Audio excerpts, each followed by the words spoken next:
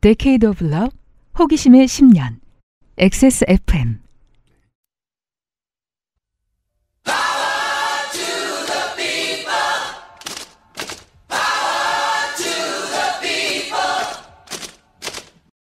XSFM입니다. P, O, D, E, R, A. 충분히 뿌려도 당기고 건조해? 그럴 땐 미스트를 바꿔봐. 수분층, 크림층, 이중 보습막이 건조할 틈 없이 지켜주니까. 단 하나의 해답. 엔서 나인틴 시카판테놀 크림 미스트. 요즘은 팟캐스트 시대 521회의 두 번째 사연에 이지영 씨는 말이에요. 아바타 보러 극장 갔는데 영화 끊긴 사연. 과 그 아이한테 설명을 드린 예순사의 수컷 마리모 사연. 음. 예, 제가 제일 좋아하는 사연은 어, 우리 문학인도 제일 좋아하는 음. 어, 노래를 부르면 동네방네 울려 퍼지는 코인 노래방 사연이었죠. 난 이거 한번 꿈에 나왔었어. 내가 노래할 때. 꿈에 왜 나와? 코너에서 되게 어려운 노래 하는데 꿈에 이렇게 약간 그, 그 톤 있죠. 왜. 마을회관 방송 톤으로 마이크 치치거리는 그 톤으로 내가 무슨 되게 어려운 노래를 하는 게 꿈에 나온 적이 있어요. 이 저는 이게 듣고. 그 지자체 공무원들이 좀 생각해봤으면 좋겠는 게 이런 코너가 있으면 좋을 것 같아요. 네. 온 동네의 노래가 라이브가 계속 나오는. 음. 앞에 얘기했잖아요. 그럼 그게 문화가 된다니까. 그 듣기 싫은 분들 노캔 끼고 그냥 반일하시면 되는 거요. 자 이지영 씨 사연 보시죠. 네. 안녕하세요. 이지영입니다. 어지러운 대한민국의 사회 속 패널분들 모두 무탈이 잘 계신지요? 그럼요. 공짜 비행기 타고. 아, 되게 부러워하나 봐. 그게 어떻게 안 부러워? 아, 그래요? 네. 어, 우리 와이프는 되게 무시했어요. 난 평생 공짜로 뭘 하지 않아. 와이프는 뭐, 아, 비즈니스 한 시간짜리 뭐, 약간 이랬는데. 아 진짜? 네. 비즈니스 10초만 타는 게 제일 멋있지. 오늘의 이야기는 인싸가 되는 법입니다. 좋습니다. 모든 청취자 여러분 잘 새겨 들으세요. 아, 인싸는 인싸가 되는 법을 궁금해하지 않죠. 네. 그건 그래요. 예. 네. 그 우리 저 공개 방송할 때 네. 어, 우리 청취자분들 와주시면 네. 한 98% 정도가 음. 인싸가 아니시거든요. 아, 그렇죠. 예. 나머지 2%는 자기가 인싸인 줄 아는 열심히 사는 사람들로 예, 예, 예. 이루어져 있어요. 아니, 그걸 지적하면 안 됩니다. 그 슬프잖아요. 어, 그건 그렇죠. 예, 예. 근데 기분 나빠 안 하세요. 왜냐면 저도 어떤 사람인지 다 얘기해 왔으니까. 네. 아무튼 인싸가 되는 법이에요. 네. 요즘도 아동 미술 수업을 하면서 아이들에게 이것저것 질문을 던지는데요. 이날은 평소 구김살 없고 사교성 좋아서 눈길이 갔던 초등학교 3학년 아이에게 별 생각 없이 질문 하나를 던져보았습니다. 땡땡아, 너처럼 인싸가 되려면 어떻게 해야 돼? 아, 이걸 아이에게 물었군요. 아이들이 3학년이면 인싸란 단어를 알겠죠? 당연합니다. 음, 그 그게 인류는 저는 이거는 이제 정말 망고불변인 거라고 봐요. 예. 후대로 가면 갈수록 어휘력이 빨리 느는 거. 아, 그렇죠. 네. 음. 더 많은 미디어와 접하니까 예. 더 빨리. 음. 어르신들은 자기가 모르는 단어 쓴다고 요즘 애들은 문해력이 없다고 뭐라 하고 있죠. 이게 그 알파벳 언어권의 사람들이 요즘 적응 못하는 게 있어요. 음. 신조어가 너무 빨리 많아지는 거. 네, 알파벳 문화권은 원래 안 그렇잖아요. 이게 그렇죠. 욕도 다 똑같고 평생 줄임말도 별로 없고 음. 줄임말 있어도 다 엄마 아빠도 알아듣는 거고 음. 근데 요즘은 신조어가 너무 빨리 생긴단 말이에요. 네. 그래 놀라고 요즘 왜 이러냐라고 하는데 한국인들은 진작부터 알고 있던 거예요. 음. 단어 안 통하기 시작한 지 오래됐죠 우리나라는. 빨리빨리 많이 많이 습득하는 세대가 옛날부터 생겼으니까. 네. 또 한편으론 그 신조어의 생명력도 굉장히 짧아졌죠. 저는 요즘 들어 생각하는 게 그 썰렁하다라는 단어가 정말 그 말 지금도 쓸까요? 말라버렸습니다. 의미를 이해하는 20, 20대가 있을까? 30대도 별로 없을 것 아, 같기도 우리 하다. 아들이 몰라요. 그러니까요. 네. 맞아요. 그 사어죠 이제. 예, 정말 사어가 됐죠. 네. 그래서 옛날 PC 통신 게시판 자료 같은 게 좀 있어요. 저는 음. 보다 보면 아 이제는 이 단어를 안 쓰는구나라는 순간들이 좀 있는 거죠. 그때는 그 사람들도 그 글 써놓고 읽을 때 북한 네. 말처럼 읽었을 거야. 옛날 서울말 있잖아. 저희는요. 옛날 서울말. 맞아요. 이 아이는 매일 머리부터 발끝까지 자신이 직접 코디했다는 옷을 마치 연예인처럼 예쁘게 차려입고 늘 당당하게 존재감과 자존감을 드러내던 아이였습니다. 훌륭하네요. 나잖아. 어 그렇죠. 네. 패셔니스타죠. 네, 그러니까. 네. 제가 딱 이렇습니다. 네. 제가 얘기했죠. 이 자기가 인싸라고 생각하고 행동하는 사람들이 있다고. 그거라도 해야지. 네. 좋잖아. 네. 나한테 그 얘기 하지 마세요. 네. 모르, 모르고 살게 해주십시오. 그니까 말이에요. 비록 어린이지만 저도 배울 점이 많은 친구이고 좁디 좁은 인간관계를 가진 저보단 교우관계도 막힘없이 잘할 것 같다는 생각에 그저 장난기 담긴 말투로 툭 던져본 말이었습니다. 아이, 인싸가 되려면 우선 말을 너무 많이 하면 안 돼요. 아, 저는 틀렸군요. 아이의 표정과 대답이 진지했습니다. 아이, 제가 전에 새 학교에 전학 갔을 때요. 저는 그때 친구들하고 얼른 친해지려고 갑자기 먼저 다가가거나 나서지 않았어요. 처음에는 말을 아끼고 가만히 있어야 오히려 친구들이 다가와요. 답변은 예상 밖이었습니다. 진중한 태도로 또박또박 자신의 생각을 이어가는 것이었어요. 가장 대단한 건 예. 멘토링을 할 준비가 돼 있습니다. 아까 지하철 아저씨랑 똑같은 거예요. 그렇죠. 늘 품속에 쳐야겠다. 네, 이때는 쳐야겠다. 곧 물어볼 것이다. 그게 저도 되게 부러워하던 네, 스킬. 저도 치는 건 좋아하는데 예. 에너지 레벨의 문제잖아요. 예. 늘칠 수 없어요. 아. 저는 한 일주일에 한 번쯤 바이오리듬상 그런 날이 와요. 네. 그런 날 컨디션 좋아. 그리고 나머지 6일 동안 그냥 아싸한 거예요. 근데 이게 항상 된다. 음, 이거는 평소에 그러니까 지속적인 트레이닝이 있는 거죠. 그러니까 왜 무공 고수들 보면 정권 지르기만 만 번씩 하는 이유가 음. 어떤 상황에도 똑같은 코스로 주먹이 나가야 한다. 이거를 몸에 배게 만드는 거잖아요. 그렇죠. 제가 어제 1박 2일을 봤습니다. 네. 가끔 제가 얘기하지만 1박 2일을 보는 사람이 요즘 거의 없어요. 중년의 취향. 아니요, 우리 아들이 좋아해서 봐요. 아들과 중년의 취향. 어제 뉴진스가 나왔습니다. 그랬다고 써있네요. 여기 보니까. 예. 민지 씨가 나왔다고. 예, 음. 뉴진스가 나왔는데 제가 정말 놀란 게 이 친구들이 되게 어리고 약간 수줍고 이렇잖아요. 음. 난 처음 봤어요 그런 걸. 음. 막 이렇게 수줍어 하다가도 갑자기 자기 음악이 나오잖아요. 음. 그러면 네 명이 제가 네 명 다섯 명인 거 몰라서 그런 게 아니라 네 명만 나왔어요, 여러분. 음, 음. 한명 다쳐. 아, 그래요? 예. 예. 음악이 나오면 그냥 뭘 하다가도 음. 그 군무가 나오는 거예요. 음. 네 명이 딱 맞춰갖고 음. 얼마나 연습을 했겠습니까? 그것은 그냥 그 실전 경계 태세죠. 네. 그러니까 몸에 배어 있는 거예요. 예. 이 노래가 나오면 정말 딱 자세가 네 명이 똑같은 거예요. 프로로서의. 네. 음. 우리 오늘 지하철 아저씨와 음. 우리 어린 친구. 네. 하, 어떤 상황에서도 아 튀어나올 준비가 돼 있다. 예. 하, 뽑아놓고 이제 자, 좋아 자연스러웠어. 이 멘트를 할 수 있는. 되게 프로로서 인생을 살 때 중요한 덕목 중에 하나죠. 네. 튀어나올 준비돼 있느냐. 예. 예. 준비가 돼 있습니다. 아주 좋네요. 3학년의 학생은 굶어 죽을 일이 영원히 없습니다. 제가 네. 보기에. 와, 네. 약간 부럽네요, 저도. 예. 답변은 예상 바뀌었습니다. 진중한 네. 태도로 또박또박 자신의 생각을 이어가는 것이었어요. 아이, 그리고 뭐든 자기가 잘할 줄 아는 게 있어야 돼요. 공부든 취미든 말이에요. 그래야 자신감이 생겨요. 저도 노력을 많이 했어요. 야 이쯤 되면 멘토의 근본. 네. 나도 마- 열심히 했다. 아, 아니 이쯤 되면 이 친구가 평소에 선생님을 뭐라고 생각했을까도 궁금해지는데요. 족밥 아싸죠. 이미 다 간파됐습니다. 네. 아니 이 멘트는 완전히 선생님을 향하는 거잖아요. 자기가 잘할 줄 아는 게 있어야 된다. 잘할 줄 아는 것도 없고 공부든 취미든. 코너 앞에 지나가 노래 소리 들어봤는데 노래도 잘 못하고 아바타도 안 받고 등등등 네. 와 진짜 놀랍네. 어떤 노력을 했을까? 이 친구는? 저는 궁금해졌습니다. 뭔가 엄청난 노력을 이야기해 줄 것만 같았어요. 그래? 어떤 노력을 했는데? 라고 물어보니 아이 실뜨기 같은 거 저는 실뜨기를 할 줄 모릅니다. 실뜨기가 어떤 아이들에게도 아주 적당한 아이스 브레이커 입니다. 음. 근데 할 줄 알아야 접수를 하지 않나요, 그걸? 그러니까 봐요. 못 하죠? 그럼 가르쳐 주면서 친해집니다. 나 왜 나는 아무도 안 가르쳐 준 거야? 아까 지적하지 말라며.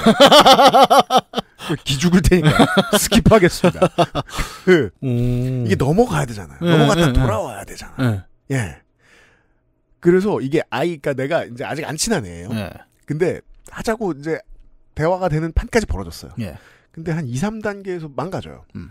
근데 일주일 뒤에 둘이서 한 10단계 하고 있죠? 네. 그러면 못하던 애 입장에서는 이 아이가 나에 대해서 가지고 있는 상대방이 나에 대해서 가지고 있는 책임감과 의지 같은 게 바로 전달됩니다. 오, 그렇긴 하겠네요. 믿어도 되는 애다. 예. 라는 생각이 들 수 있습니다.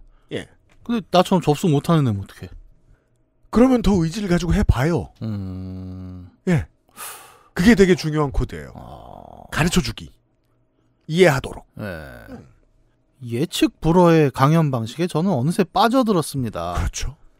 읽고 요즘 좋아하고 잘하고 있는 취미가 또 있나고 묻는 제 말에 아이는 아이 댄스랑 독서요. 라고 말했습니다. 어, 이 두 개는 굉장히 우리가 우리의 선입견으로는 대조적인 두 개의 취미네요. 실뜨기와 댄스. 그렇죠. 외향과 내향의 아이콘적 취미가 한 문장에 들어 있다니. 댄스랑 그렇죠. 독서도 사실 그렇죠. 그렇죠. 그렇죠. 근데 저도 뭐 개인적인 얘기를 하자면 저도 댄스와 독서가 취미였어요. 아, 네. 그렇, 예. 그랬답니다. 예, 저 예. 예전에 들었습니다. 예. 생경해 하면서도 이 아이의 꽉 찬 일상에 감탄했습니다. 그렇죠. 비전이 있죠, 이 아이는 네. 지금. 저는 마치 강연을 듣는 것 같았다고. 아, 내 이야기는 나이를 불문하고 누구나 해당되는 것 같다고. 그죠. 어, 하고 들었어요, 네. 이지영 씨는.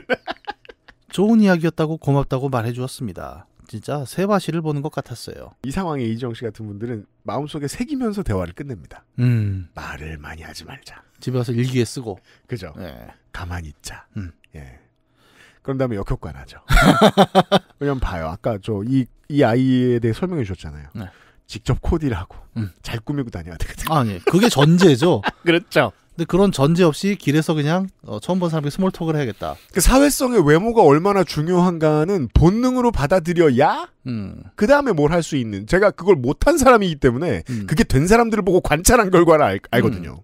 사실 그건 저도 예전에 좀 할 말이 있었는데 저는 일부러 좀 안 꾸미고 다녔어요. 음. 그, 왜냐하면 내가 안 꾸미고 다니면 나를 아, 저 사람은 나를 외모로만 판단하는구나를 걸을 수 있다. 음. 라는 컨셉이 있었죠. 그래서 지금 이렇게 꾸안꾸가 된 거죠. 무슨 아니- 줄임말인지 아시죠? 아니 근데 어 그런 건 있습니다. 그러니까 진짜로 제가 어디 가면 무시를 굉장히 많이 당하잖아요.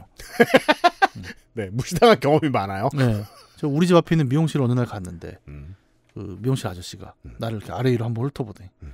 무슨 일로 오셨어요? 내가 후더 FIU. 응. 내가 너무 당황해서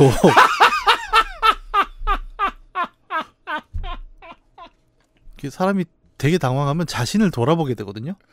그 나는 여기 무슨 일로 왔을까? 대답을 못했어요. 근데 대답을 못하니까 더 슬퍼지더라고. 난 여기 무슨 일로 왔지? 제 자신을 찾으러. 근데 더 웃긴 거는 이게 또 되게 젠더 차가 나온 게저 음. 안쪽에서 부부가 하는 미용실이었는데 네. 아주머니가 나오신 겁니다. 음. 그래서 아 무슨 소리야 머리 깎으러 오셨겠지. 일로 앉아요. 아 세상은 아직 따뜻하구나라고 생각했는데 아저씨가 자리 없어요. 왜? 그 나를 받기 싫었던 거예요. 왜일까? 뭐 내 패션에 문제가 있었겠죠. 꾸안꾸인데? 아 그때는 꾸안꾸가 아니었어요. 그때는 안꾸. 네. 이 얘기를 왜 했지 근데 원래 무시당한 얘기하러 오는 거 아니야? 인싸라는 개념에 대해 그저 많은 사람들과 큰 문제 없이 잘 지내는 흔히 말하는 잘 나가는 사람이라고만 생각하고 있던 저에게 타인보다 자신의 태도를 돌아보고 돌보는 게 우선이라는 아이의 이야기는 꽤 충격적이었습니다. 아, 다행히 이지영 씨는 가르침의 정확한 포인트를 잡으셨군요. 네. 네. 그냥 말만 안 하고 있을까봐 걱정했는데. 음, 아닙니다. 제가 보기에 이 친구는 가르치려 한 거예요. 선생님의 평소 모습을 보고. 아, 물론 그렇죠. 예, 예. 예. 내가 언젠가 한마디 해줘야겠다. 다만 이제 포인트를 어떻게 짚어내느냐가 문제인데 이 예. 학생들이 예, 예. 음.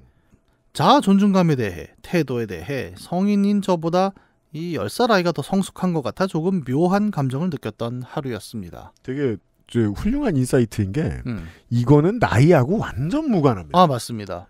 그러니까 못 챙기는 사람은 영원히 못 챙기고 예. 챙기는 사람은 본능적으로 챙깁니다.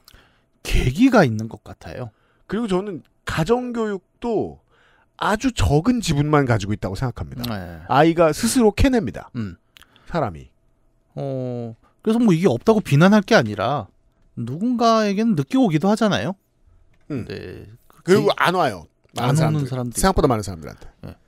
약간 이런 거죠. 온라인 게임 가면은 뭐 유행하는 아이템이 있어요. 모두가 들고 다니는 국템이라고 하죠. 그렇죠. 나만 없는 경우가 있습니다. 어, 그럼요. 네. 기, 기회, 땡땡 나만 없어. 네. 기회, 계기라는 게 안 올 수도 있습니다. 음. 근데 안 오면 뭐 그거 같다고 없다고 무시하진 않거든요. 네. 그것 때문에 내가 문제다라고 너무 생각할 필요는 없어요. 언젠가 나에게도 그냥 온다. 유닛 특성이 다른 거죠. 예, 예. 네. 부러워하는 정도면 되지 않을까요? 맞아요. 아, 저걸 저 나이에 해내? 그리고 또 이제 그 사회생활을 오래 하면 이걸 알잖아요. 어, 대충 흉내내서 때우는 skill들이 있습니다. 아, 그렇습니다. 제가 미드 덱스터를 보면서 그 흉내 낸다는 말의 의미를 되게 뼈저리게 깨달은 적이 있어요. 무슨 소리? 안 죽인 척 하는 거? 아니 그 사람이 아니 그거 말고 그럼 뭐? 설정상 이제 사람의 감정을 모르는 아, 감정을 흉내내죠. 예 네. 첫 시즌 1에 보면 그걸 정말 힘들어하는데 음. 후반부 시즌에 가면은 그 사람들 사이에 주고받는 그 아주 작은 감정들의 모습을 자기는 하나도 모르는데 음. 되게 그럴듯하게 흉내를 내거든요. 그죠. 예 우리가 챗 GPT 같죠. 쌀- 예 네. 본인은 모르는 거예요. 하지만 이렇게 대답하는 것이 매우 자연스럽다는 걸 깨달아가는 과정이 있거든요. 아, 그렇죠. 인싸가 되는 과정도 뭐 그런 게 아닐까요? 영원히 될 수 없다 해도 네. 흉내를 낼 수 있습니다. 네. 저는 굉장히 밖에 나가면 좀 인싸 소리 많이 들어요. 모르죠? 내가 여기 이, 조- 이 집단에서 내가 제일 인싸일 걸 아마? 안타깝지만 그런 것 같습니다. 네. 그러니까 이거는 뭐 하향 평준화의 문제도 있긴 하지만 네. 어, 저도 그걸 잘하는 것 같아요. 저는 원래는 이런 얘기하면 안 믿는 분들이 있는데 어, 모르는 사람하고 눈을 못 마주치던 캐릭터였거든요. 10명이 있는데 한 명만 운전면허가 있으면 그가 best driver거든요. 아, 그렇죠. 그런 캐릭터입니다. 음. 아까. 덱스, 예, 덱스터 얘기를 해서 한 게 저도 가끔 그 생각을 하는 거예요. 이제는 사람들이 나를 되게 외향적인 사람이라고 보네. 근데 나는 정말 외향적일까? 라고 생각해 보면 그 덱스터의 그 장면이 떠오르는 거죠. 네. 네. 그냥 기술의 특징을 역추적해서 저렇게 하는 걸 보니 이렇게 음. 하면 되겠구나 네. 하고 이제 처리해 보는 겁니다. 그러니까 일종의 reverse engineering인 맞아요. 거죠. 네. 요파 씨도 그 알실도 음악 방송도 너무 잘 듣고 있어요. 앰플리파이드 화이팅입니다. 팟캐스트라고요. 인싸가 되려면 단어를 정확히 파악하십시다. 아 근데 잠깐만요. 인싸가 되고 싶으신 거예요? 그러면? 의지가 있겠죠. 음. 근데 네. 뭐 그러니까 나도 이제 무슨 일이 생겼을 때 어. 말할 데가 없어서 사연을 보내는 인생을 그만 좀 정리하고 싶다. 근데 꼭 인싸가 되어야 할까 같은 의문도 사실 있긴 하니까. 음. 예. 어, 인싸의 삶은 좋아 보일까요? 난 잘 모르겠습니다. 오히려 요새는 인싸는 또 비난받는 의미도 있어요. 인싸는 인싸대로 힘들죠. 예. 네. 그게 그렇게 또 좋아 보이는 삶은 아닌 것 같긴 하고 개인적으로. 왜냐면 마음 먹으면 자꾸 누가 와서 보증서 하려 그러고 빚죠. 예. 당원랜드에서 전화 오고. 그리고 인싸라는 단어도 사실 함의가 되게 다양하긴 하거든요. 그러니까 전통적인 의미의 인싸라고 하면 어, 우리 시대의 기준으로는 약간 총무 스타일 아 예. 예. 모임에. 모임에서 이렇게 누구 생일 다 챙기고 음. 어디 뭐 무슨 일 있으면 돈 걷고 연락 돌리고 이런 거 잘하는 걸 인싸라고 생각하는 세대가 있고 또 요즘의 인싸는 약간 그거랑 다른 것 같아요. 조금 뭐라 해야 되나? 어, 아까 얘기한 총무스러운 인싸가 좀 원래 있던 관계 안에서의 인싸라면 요즘 인싸는 어, 너랑 나랑 관계가 어, 깊지 않고 인스턴트 하더라도 얘는 인싸일 수 있어. 약간 이런 느낌이라고 생각을 하는데 음. 모르겠습니다. 여기서 이야기하는 인싸가 어떤 의미일지는 잘 모르겠어요. 근데 어, 사실 인싸가 되고 싶어라는 말도 그래서 사람마다 캠으로 보면 좀 다를 수 있지 않을까. 어 그렇죠. 예. 네. 전 총무가 되고 싶진 않거든요. 내가 약간 각도를 꺾어서 위로 꺾어서 쳐다보게 되는 어떤 것이거든요. 네. 예. 내가 가지지 못한 무언가. 음. 그러니까 그 그냥 겉포면이 이렇게 생긴 어, 내 욕망을 투영시킨 어떤 총체가 인싸라면 음. 어, 전제는 하나밖에 없습니다. 네. 그걸 바라보는 사람이 아싸다. 그러니까 이 관계는 되게 상대적인 것 같아요. 말곤 없다. 예. 인싸를 죽여라라는 책도 있지 않습니까? 아 그래요? 예. 왜 죽여? 그 지가 되려고? 재밌어요. 나름 사회과학 서적입니다. 예. 네. 인셀에 대한 얘기네요. 도움이 될지 모르겠네. 자, 이지영 씨의 사연까지 살펴본 521회 요즘은 팟캐스트 시대였습니다.